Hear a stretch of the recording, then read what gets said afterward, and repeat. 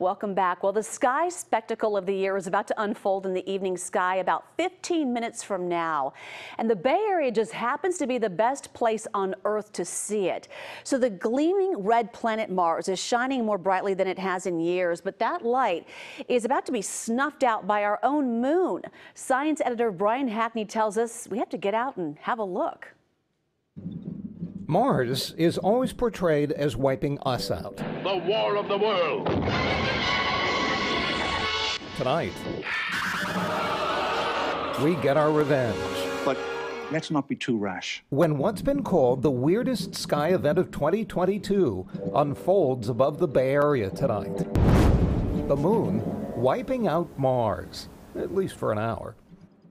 Tonight, after sunset, you'll see the full moon with a red star-like Mars next to it.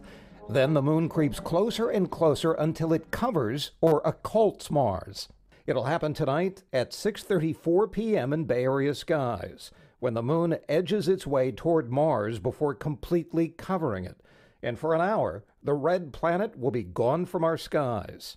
But when you see the moon and Mars together tonight, you're also seeing the future. And liftoff of Artemis 1. The future of the space program. Now 30 seconds into the flight of Artemis 1. The Orion space capsule was just 79 miles above the moon's surface on Monday. Well, the point for us now is to establish what we call a sustainable presence on the moon. And after the moon, when do you see us realistically as getting boots on Mars? So right now we're aiming for Mars in the late 2030s, the, the very end of the 2030s. In the meantime, you can get to both by watching tonight's Vanishing Act, beginning at 6:34 p.m. All you need is your eyes and clear skies. Here's hoping. I'm science editor Brian Hackney, KPIX 5. All right, well, good timing for that. Thank you.